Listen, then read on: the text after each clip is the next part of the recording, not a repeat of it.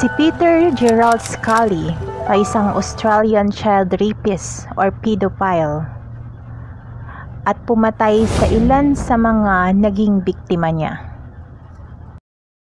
Isinilang noong January 13, 1963 sa Australia, tumakas papuntang Pilipinas noong 2011 sa patong-patong na kaso, kabilang na dito ang pag-ooperate ng escort service website kasama ang Malaysian girlfriend bilang prostitute.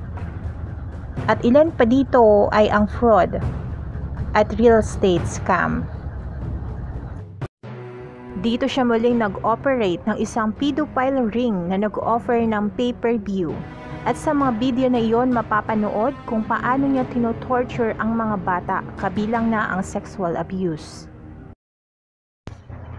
2012, in-upload niya ang isang video na may title na Daisy's Distractions na binibenta niya ng $10,000 sa mga child pornographic sites. Sa video na iyon makikita ang mga biktimang si Lisa, 12 years old, si Cindy, 11 years old.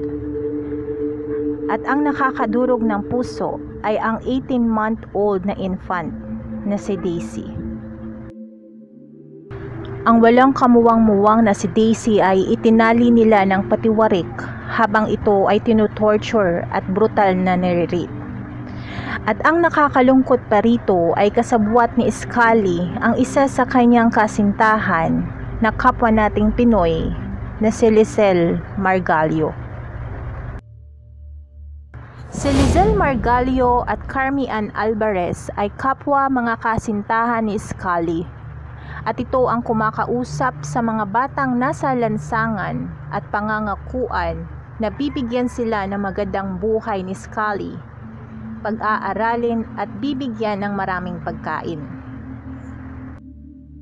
Matapos na kumalat ang Daisy's distraction video ay naglunsad ng manhunt operation at na-track ang lokasyon ni Peter Scully sa Malaybalay City, Bukidnon at naaresto noong February 2015.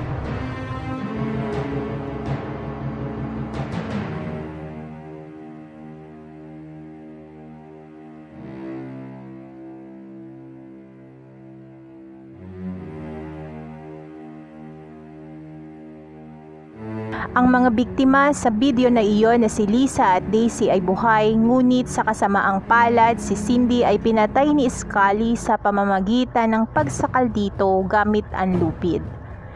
At inilibing niya mismo sa bahay kung saan siya naaresto. At ayon nga kay Margalio ay binidyuhan pa umano ni Scully kung paano niya pinatay si Cindy. At noong June 13, 2018, ay nasentensyahan si Peter Scully ng habang buhay na pagkakabilanggo. Kasama niyang nakasuhan si Lizelle Margalio at Carmi Ann Alvarez dahil sa kasong child trafficking at child abuse.